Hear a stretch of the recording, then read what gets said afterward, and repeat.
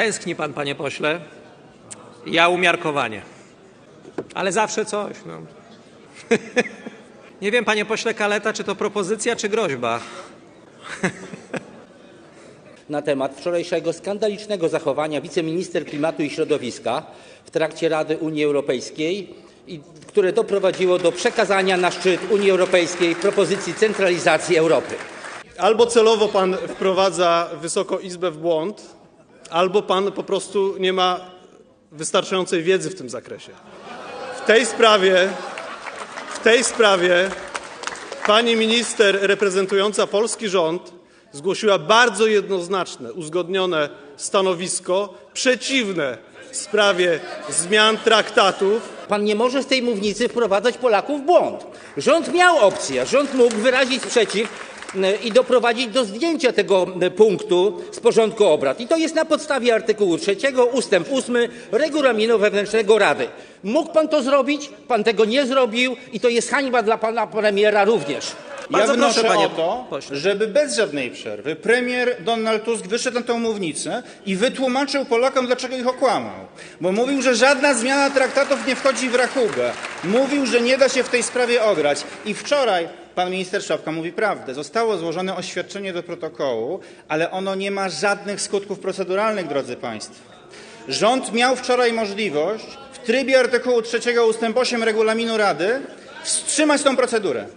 Zrezygnował z tej możliwości. Panie premierze, powinien pan wytłumaczyć, dlaczego zabrakło wam odwagi. Czy ktoś was zastraszył, żebyście tego nie robili? My na to zasługujemy teraz, bez żadnej przerwy. Panie marszałku, apeluję o to, żeby pan w tej chwili zaprosił pana premiera, bo pan premier po swoim expose zszedł z tej mównicy tchórzliwie, nie odpowiedział na żadne pytanie. Panie y, ministrze, czy wobec tego mojego gorącego i płomiennego apelu podtrzymuje pan swoją chęć zabrania głosu w trybie artykułu 186? Jeżeli tak, to proszę bardzo krótko. Entuzjazm, z jakim witacie Państwo realizację artykułu 186, buduje mnie i grzeje moje serce. Bardzo proszę, panie ministrze, tylko krótko. Panie Marszałku, Wysoka Izbo, ja przeczytam to stanowisko, które Polska w tej sprawie. Wy doskonale wiecie to, że decyzję w tej sprawie będzie podejmowała Rada Europejska. I doskonale wiecie, jakie będzie polskie stanowisko, i doskonale też wiecie o tym, że w trybie artykułu 48 Traktatu o Unii Europejskiej rolą Rady Europejskiej w tym przypadku jest tylko przekazanie tego i doskonale też wiecie o tym, że to jest punkt, który jest głosowany większością kwalifikowaną. Więc wy celowo wprowadzacie opinię publiczną w błąd, bo stanowisko polskie w tej sprawie jest jasne. Zdecydujcie się na to, czy będziecie wetować po prostu zmiany traktatowe i czy będzie dalsza federalizacja, Unii Europejskiej yy, i czy będziecie się zgadzać na to, że kolejne kompetencje będziemy przekazywać z Polski do Unii Europejskiej. Dziękuję. Ja, panie ministrze, zwracam się do pana ministra Szłapki, wyjaśnię panu, co pan tu powiedział, pan się zapętlił. Otóż okazało się, że państwo nie cieszyliście się, a nawet płakaliście nad tym przekazaniem, ale sprzeciwu nie zgłosiliście. I to jest zdrada, i to jest zdrada. Zdaje pan sobie sprawę, że obaj znamy różnicę ciężaru gatunkowego między uchwałą i ustawą. Zwracam też panu uwagę, że przed chwilą Sejm zdecydował o włączeniu rozpatrzenia tego punktu do porządku obrad. Tam będzie miejsce na dyskusję gorącą, jak mniemam, nad tym. Zadał mi pan pytanie, odpowiedziałem bardzo jasno, natomiast jest to część przewidziana na wnioski formalne. Rozumiem, że wniosku takiego pan w sensie formalnym nie zgłosił. E, Zmiana sposobu prowadzenia obrad musiałaby oznaczać zmianę marszałka Sejmu. Ja nie umiem obrad prowadzić w inny sposób. Widzę, że reagują Państwo z entuzjazmem. Zachęcam do działania. Dla wszystkich tych, którzy mają wątpliwości, my nie chcemy pozbawić narodu dostępu do mediów publicznych. Nie mamy zamiaru wyłączyć TVP. Mamy zamiar wyłączyć TVP PiS.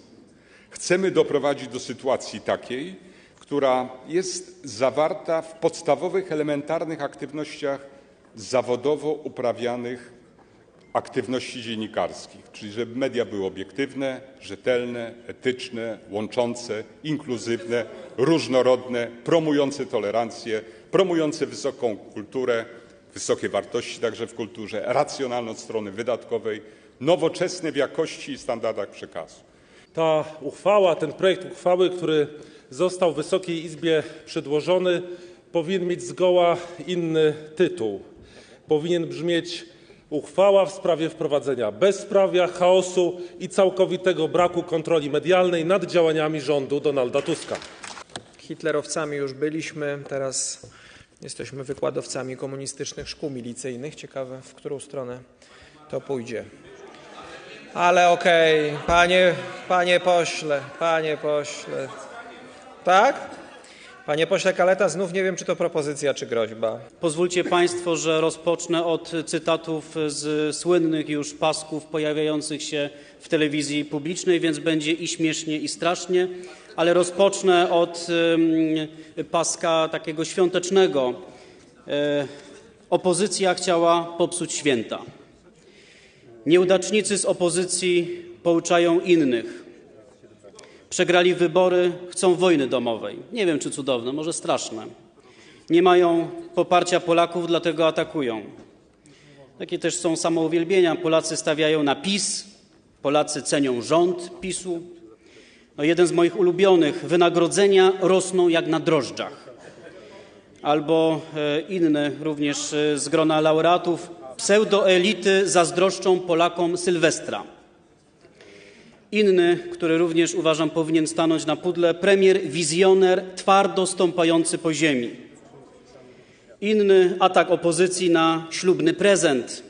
Bruksela, Berlin i opozycja przeciwko Polsce. Wzrost zamożności Polaków irytuje Niemców. I wydaje mi się, że na koniec najśmieszniejszy, bo najbardziej kłócący się z rzeczywistością telewizja publiczna na straży wolności słowa. Ale inny współautor przekazu medialnego, znany wam pracownik telewizji publicznej Marcin Wolski podczas spotkania z sympatykami PiSu powiedział, cytuję: Stworzyliśmy, stworzyliśmy propagandę gorszą niż w PRL-u. Panie, panowie posłowie, czy to nie jest jednak pewien wyczyn? No stworzyć coś gorszego od PRL-u. No jesteście w czymś jednak lepsi. Po czym Marcin Wolski dodał, ten naród został po prostu upokorzony, bo został upokorzony naród. Jedną z telewizji polskiej właśnie pierwszych lat rządów PiSu w tej instytucji utkwiło. Bohaterem tego materiału był obecny minister e, Arkadiusz e, Myrcha i to bardzo wymowny, bardzo wymowny obrazek. Na ekranie TVP z klapy pana posła, pana ministra wyparowało serduszko Wielkiej Orkiestry Świątecznej Pomocy. A najbardziej wymownym chyba przykładem tego, co się z kadrami w mediach publicznych stało, jest e, przykład radiowej trójki. Kilka pokoleń Polaków wyrosło na radiowej trójce. Tam była muzyka, tam była publicystyka, tam były felietony. Zniszczyliście to w ogóle w jakimś, e, stylu z ponurych czasów PRL-u. Zupełnie nie wiem, nie wiem, nie wiem. Słów brakuje, żeby to, opisać, panie pośle. No, prawda boli. Prawda boli. Prawda bardzo boli. Widać na, pańskim przykładzie, jak, bardzo. Bo niestety lub stety, raczej niestety, w e, Polsce dwie trzecie Polaków ma dostęp tylko do mediów publicznych. Tylko do mediów publicznych. I ten jad nienawiści, który tam się sączył, doprowadził do, w głównej mierze do wojny polsko-polskiej. To jest wasza wina. Szczuliście Polaków przeciwko Polakom. W efekcie mamy dzisiaj jedno z najbardziej podzielonych społeczeństw we współczesnej Europie. Joanna Scheuring-Wielgus, która siedzi tutaj na sali, ma na to wyrok sądu. Po tym, jak powiedziała w telewizji, że TVP szczuła na Pawła Adamowicza, stacja ją pozwała. I Joanna Scheuring-Wielgus tę sprawę wygrała. Pewnie pamiętacie Państwo aferę po występie słowackiej wokalistki, która podczas wizyty w, programie w telewizji polskiej zarzuciła na plecy tęczową flagę. Tęczowa flaga zelektryzowała i rozsierdziła władze telewizji do tego stopnia, że jeden z pracowników zapłacił za to stanowiskiem. Nie została mu przedłużona umowa. I to jest chore. Rozczarowujące to jest, jak niemrawo wam idzie z telewizją publiczną. E, Dlatego, że przez całą kampanię prowadziliście retorykę buńczuczną, wojowniczą, obiecującą, że jak tylko dojdziecie do władzy, to dzień po początku nowej kadencji, a już maksymalnie dzień po sformowaniu rządu, wjedziecie do TVP jak Brown z gaśnicą, zrobicie porządek, wszystkich wyrzucicie, wprowadzicie nowe zasady. To się wydawało, to się wydawało, że może nawet jeszcze nastąpić, kiedy na funkcję ministra kultury powołaliście pana Bartłomieja Sienkiewicza, który jest przecież człowiekiem, który poza pochodzeniem nic z kulturą wspólnego nie ma. Ma za to ogromne doświadczenie w e, podpalaniu budek na manifestacjach patriotycznych. Jest specjalistą od brudnej roboty i siłowych rozwiązań. Polacy nie chcą TV Platforma. Polacy chcą telewizji publicznej odpolitycznionej, rzetelnej, uczciwej. Chcą zaprzestania pompowania pieniędzy podatników w propagandę. To sprawdźmy, jaki to pluralizm panuje w rządowej telewizji. Sprawdzam! Ile razy wiadomości pokazywały polityków którego ugrupowania? W każdych 60 minutach pokazywania polityków lewica 4 minuty. PSL niespełna 4 minuty. Koalicja Obywatelska 3,5 minuty. Polska 2050 Szymona Hołowni 32 sekundy. Konfederacja 8 sekund. PiS 47 minut. Ta uchwała nie ma skutków prawnych, a ewidentnie jest częścią jakiegoś planu. Polacy zasługują na to, żeby ten plan poznać. Co dalej? Jakie będą kolejne kroki? Co rzeczywiście zrobicie z TVP? Czemu tego planu do tej pory nie ujawniliście? Bo przecież y, lubicie się chwalić swoimi programami i planami, więc może najwyższy czas, żeby pokazać też ten, chyba że jest w nim coś wstydliwego. Kto będzie następnym szefem telewizji publicznej? Czy wiecie Państwo, że w budżecie na 2024 rok TVP Poznań otrzymało 0 złotych na produkcję własnych programów regionalnych? Programów, które trwały kilkanaście, a nawet kilkadziesiąt lat, jak tele, Telekurier TVP3 Poznań, nadawane od 2000 roku. Podobne sygnały płyną e, z innych ośrodków regionalnych. Panie ministrze, kolejnym krokiem powinno być unowocześnienie i decentralizacja mediów regionalnych i odbudowa ich niezależności. Kilka lat temu telewizja Kurskiego wytoczyła szereg procesów w trybie karnym i cywilnym takim osobom jak na przykład Rzecznik Praw Obywatelskich Adam Bodnar, ówczesny marszałek e, Senatu Bogdan Borusewicz, dziennikarz Wojciech Szczuknowski, profesor Wojciech Sadurski czy satyryk Krzysztof Skiba. Dwadzieścia kilka procesów. Czy pan wie, czy wiecie państwo, żadnego nie wygrała. Poseł, e, który wygłaszał oświadczenie w imieniu e, klubu Prawa i Sprawiedliwości, przywołał duchy e, komunistów, zarzucając, większości parlamentarnej komunistyczne e, metody. Dlatego chciałbym zacytować Wam e, Waszego posła, byłego posła, prokuratora stanu wojennego, prawdziwego komunistę Stanisława Piotrowicza, który powiedział coś takiego: Wiemy, że przekaz TVP Info może razić ludzi inteligentnych, ale my chcemy dotrzeć do naszych wyborców. To myślę tyle odnośnie komunistów. Dziękuję. Bo my tu debatujemy o mediach publicznych, proszę bardzo, co robią media publiczne? Nawet nie transmitują tej debaty, którą transmituje dla odmiany prywatna e, telewizja, no i oczywiście okraszają e, te swoje relacje, komentarze różnych ty, teoretycznie niezależnych e, komentatorów specyficznymi dla siebie paskami, próba zamachu albo wspomniana przed chwilą koalicja 13 grudnia próbuje bezprawnie przejąć telewizję polską. Widać, kto te paski im pisze. Nie krygujcie się, stwórzcie kolejne uchwały. Proponuję pierwszą uchwałę łobo-dobo, łobo-dobo, niech nam żyje Donek, premier z naszego klubu. Albo na przykład uchwałę, że Rafał Trzaskowski ma wzrost dwóch metrów. Co się krygować? Taka jest wartość waszych uchwał. Była słynna sprawa, gdy telewizja publiczna o 6 rano nadawała informację, że został zatrzymany poseł, e, przepraszam, senator niezależny Stanisław Gawłowski, kiedyś polityk Platformy Obywatelskiej, a się okazało, że CBA jeszcze do niego nie weszło, weszło dopiero 20 minut później. Koordynowaliście polityczne zatrzymania i działania polityczne z wykorzystaniem telewizji. To jest skandal, takie rzeczy nie powinny się powtarzać. Ale dziś na gmachu telewizji powinien wisieć jeden napis: Głupi lud to kupi. I wydaje mi się, byłaby to najwłaściwsza recenzja sposobu, sposobu traktowania przez telewizję publiczną polskiego społeczeństwa. Ja nie wiem, jak trzeba poniewierać tym narodem, jak trzeba mieć go w głębokim poważaniu, aby zastosować taką propagandę, która krótko mówiąc chlebia najniższym gustom i stara się wszelkimi możliwymi metodami doprowadzić do tego, aby naród się po pierwsze dzielił, po drugie okłamywany, oszukiwany i temu towarzyszyły jeszcze wykluczenia. Nie wiem. Wydaje mi się, że w tych pytaniach, które pojawiały się, kryło się takie przekonanie, że my tą uchwałą rzeczywiście doprowadzimy do likwidacji de facto mediów publicznych. Nie doprowadzimy, nie mamy takiej intencji. Celem jest przywrócenie w mediach publicznych dziennikarstwa. Bardzo istotne jest, aby telewizja, jeżeli chodzi o finanse, była racjonalna, oszczędna, adekwatna do zadań i pełnionych misji. Konieczne jest, aby media publiczne zapraszały osoby z Konfederacji, ich nie potępiały na wstępie, dawały szansę wypowiedzi własnej. Jeżeli ktoś myśli, że ja jestem przekonany o tym, że ci dziennikarze to są tępi ludzie, to się mylą. To są zawodowcy, tylko nie dziennikarze. To są określone osoby, które mają świadomość tego, co oni, co oni wyprawiali, co oni robili. Znaczy, naprawdę bym wykazał się naiwnością, gdybym powiedział, że im się tak zdarzyło, albo ich są takie przekonania. To są cynicy.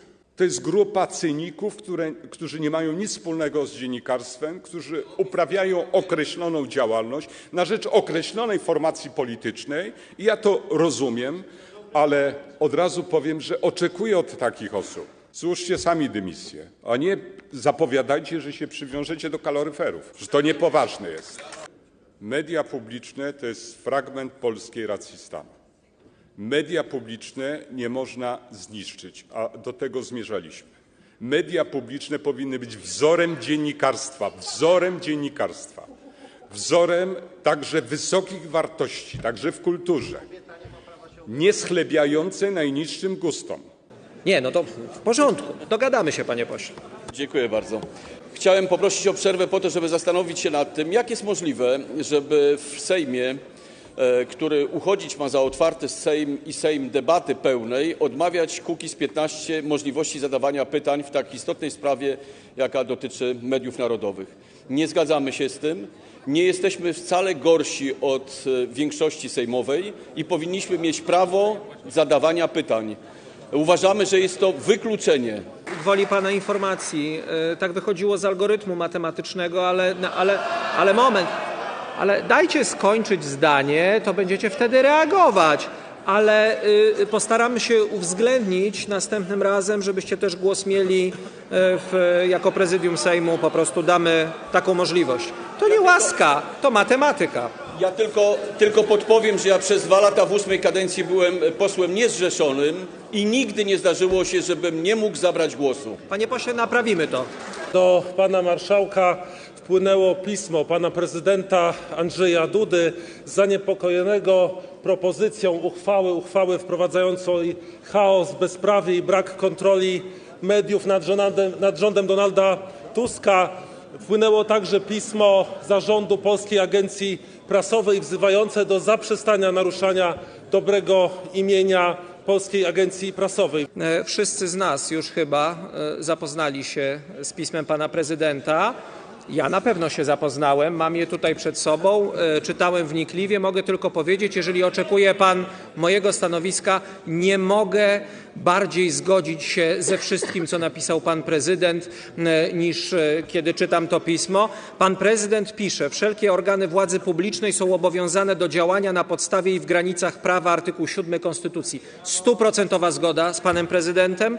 Zapowiadane zmiany dotyczące publicznej radiofonii i telewizji muszą respektować standardy demokratyczne oraz być przeprowadzone zgodnie z regułami określonymi w Konstytucji. 100% zgody z panem prezydentem po raz drugi.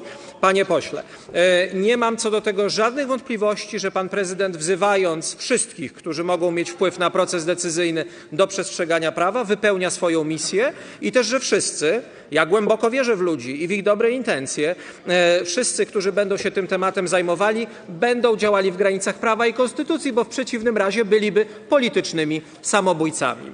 Czy to stanowisko satysfakcjonuje pana posła, czy... e, ale naprawdę bardzo krótkie, bo nie znajduję trybu dla, takiego, dla takiej rozmowy. Panie marszałku, ja w takim razie, ten moment. Panie marszałku, ja w takim razie bardzo proszę, żeby w odpowiedzi do pana prezydenta wskazał pan przepis konstytucji, który wskazuje uchwałę Sejmu jako źródło prawa, bo dzisiaj właśnie za pośrednictwem uchwały Sejmu chcecie wprowadzić zmiany w telewizji polskiej. Pan się myli, panie pośle. Pan się myli, dlatego że regulamin Sejmu wyraźnie stwierdza, że Sejm jest władny podejmować uchwały. E, Uchwały. Głosuje ustawy, wprowadza prawo, ale również podejmuje uchwały. Dzisiaj procedujemy uchwałę, która jest opinią Sejmu, apelem, wezwaniem, ale nie jest zobowiązaniem ani ustanowieniem nowego prawa. Pan jako znakomity prawnik wie o tym doskonale. Kontrola Najwyższej, Najwyższej Izby Kontroli. Mamy jasne y, wyniki tej kontroli. Zostały skierowane dwa zawiadomienia do prokuratury. Państwo wydawaliście gigantyczne pieniądze. Gigantyczne pieniądze bez odpowiedniego nadzoru. Sprawy trafiły teraz do y, odpowiednich służb i organów i powinny być wyjaśnione. Wszyscy powinniśmy wiedzieć, na co te pieniądze poszły i dlaczego właśnie tam poszły. Receptą na ten problem jest to, żeby systemowo, instytucjonalnie wymusić inny niż partyjny wybór osób, które zarządzają telewizją polską, dyrektora telewizji polskiej, członków Krajowej Rady Radiofonii i Telewizji.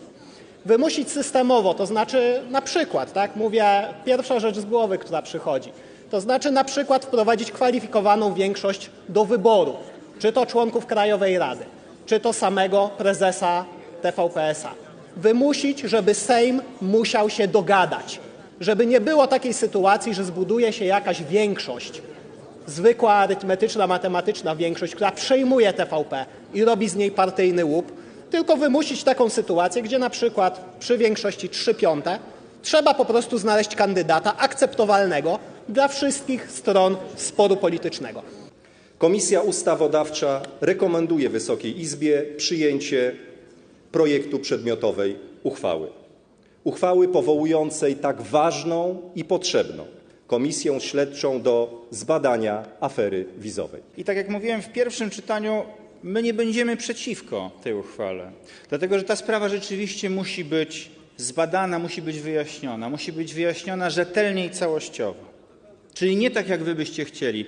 Panie pośle Jabłoński, pan nie będzie Polek i Polaków mówił, co to jest kłamstwo, bo pan jest skazany za kłamstwo w procesie wyborczym z powództwa kandydatki Koalicji Obywatelskiej 22 września bieżącego roku przez Sąd Okręgowy w Opolu. To pan jest kłamcą i to sąd stwierdził jednoznacznie. Proszę siadać.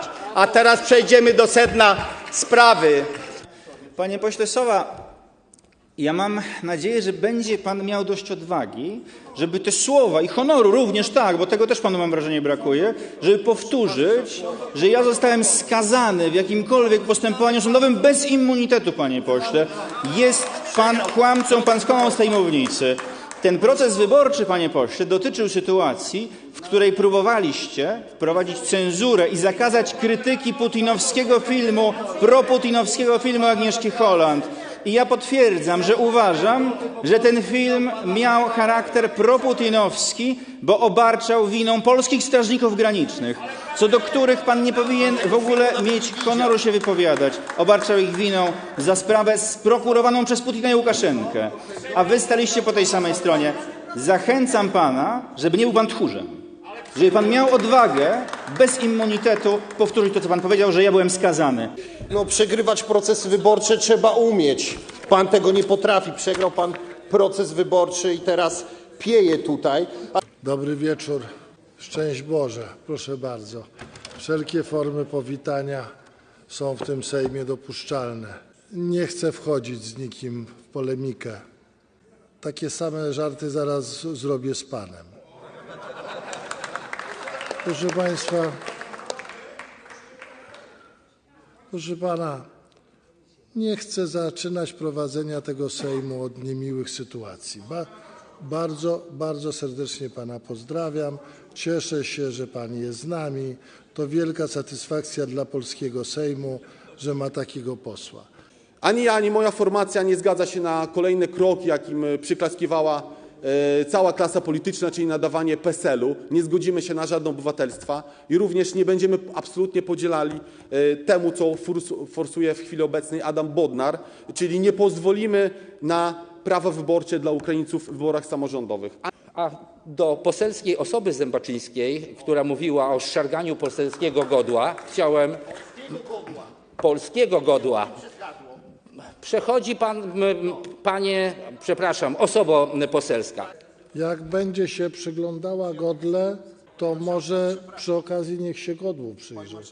Wielce szanowne osoby poselskie, być może pana posła Kukiz 15, który nie ma swoich wyborców, bo startowaliście z listy PiS i proszę tutaj nie próbować uzurpować sobie prawa do tego jakiejś grupy wyborców, bo ich nie ma. Jedyne co jest to 4,3 bańki na koncie pewnej fundacji. Te pieniądze prześwietlamy. Będziecie się z tego rozliczać. A co do osób poselskich, to uczcie się, drodzy Państwo, tolerancji, bo to jest nowy przymiotnik, który w tej Izbie będzie przyświecał obradom i mam nadzieję, że moje wystąpienia będą sprzyjać temu, że tolerancji się nauczycie. Bardzo dziękuję. Osoba poselska jest nienauczalna jednak, bo osobie poselskiej powtarzamy od pół roku, żeby wszedł na stronę lub bezpośrednio.pl. Osoba poselska tam by znalazła sobie cały projekt, jaki złożyliśmy, dokładnie z czym, kto na co pieniądze dostaje. To są wszystkie faktury, jakie osoby zatrudnione w tym projekcie otrzymują. Więc dobrze by było, żeby osoba poselska sprawdziła to a nie przesta- i przestała powtarzać cały czas te same kłamstwa. Bo, a osoba poselska by- dobrze by było, aby powiedziała Polakom, czy nowoczesna oddała swój dług, który od lat jest niespłacony. Osoba poselsko, uderz się we własne piersi, a co do wyborców, to nowoczesna nie wiem, ile ma swoich wyborców, bo startowała razem z Platformą Obywatelską. Więc uderzyć się we własne piersi, panie pośle. Przypominam posłankom, posłom, osobom poselskim, gdzie jesteśmy, w którym miejscu i dokąd zmierzamy. Proszę Państwa, 54 osoby zgłosiły się do zadawania pytań. Konkretne zmiany, które y, zawarte są w ustawie, jest to wydłużenie terminu ważności orzeczeń do 30 września, których ważność upłynęłaby do 30 czerwca 2024 roku. Dodatkowo jest to, zachowują ważność karty parkingowe.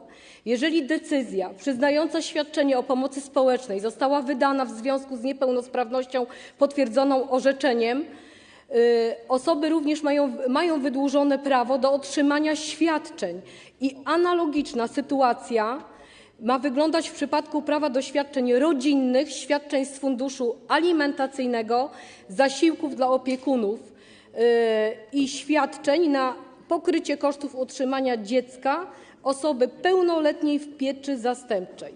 Ta ustawa to nie jest rozwiązanie problemu. To jest prymitywna łata kupująca kilka dodatkowych miesięcy na wymyślenie sposobu na naprawę tego gigantycznego bałaganu, który wspólnie, PiS z Platformą, z Lewicą, wspólnie żeście Polakom, e, Polakom wprowadzili nie tylko w tym jednym wycinku funkcjonowania państwa, ale w ogóle w całych ogromnych sektorach gospodarki, administracji publicznej. Ale ma pan pytania do poprawek, tak? Które państwo zgłosiliście. Czyli pan chce pytać o poprawki, które wyście zgłosili. Ale zgłosiliście poprawki, tak? I chce pan do wnioskodawcy uchwały zapytać jeszcze o poprawki, które żeście zgłosili.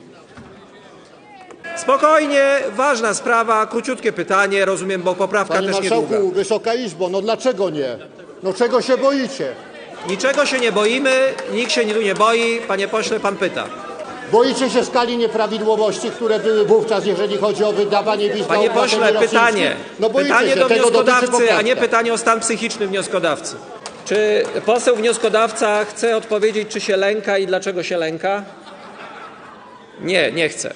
Głosowało 339 posłów, większość bezwzględna to 170 posłów, za było 259, przeciw 79, Jeden poseł wstrzymał się od głosu. Stwierdzam, że Sejm podjął uchwałę w sprawie powołania Komisji Śledczej do zbadania legalności, prawidłowości oraz celowości działań, a także występowania nadużyć, zaniedbań i zaniechań w zakresie legalizacji pobytu cudzoziemców na terytorium Rzeczypospolitej Polskiej w okresie od 12 listopada 2019 roku do dnia 20 listopada 2023 roku.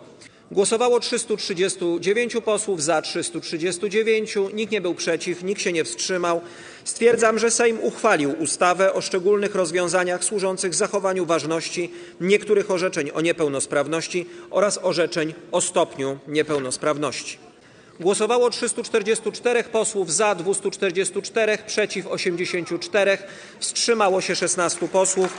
Stwierdzam, że Sejm podjął uchwałę w sprawie przywrócenia ładu prawnego oraz bezstronności i rzetelności mediów publicznych oraz Polskiej Agencji Prasowej. Profetyczny wiersz księdza Jana Twardowskiego o sytuacji, w jakiej się znalazł polski Sejm. Trawestacja nieduża. Stanął anioł, sługa Boży, jak puch topól pomaleńku. Zamiast słów czcigodnych, wzniosłych, rzekł do ucha marszałkowi: Ojejku,